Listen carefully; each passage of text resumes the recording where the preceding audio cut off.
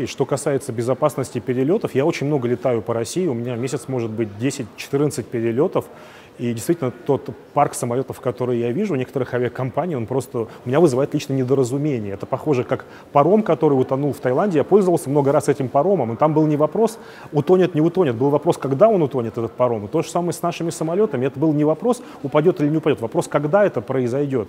Безусловно, это безобразие, когда летает машина, которая 20 лет, говорит, мы поменяли там все узлы и прочие агрегаты. возьмите автомобиль, которому 20 лет, поменяйте у него агрегаты. Посмотрите, что с ним будет. Да? Это человеческий фактор. Это одна мельчайшая деталь может все испортить. А, это человеческие жизни под вопросом. Давай, давайте так пойдем. Почему тогда у нас, к примеру, ну, не знаю, правительство не летает на этих самолетах 20-летней давности, они же летают на новых машинах, а почему-то граждане –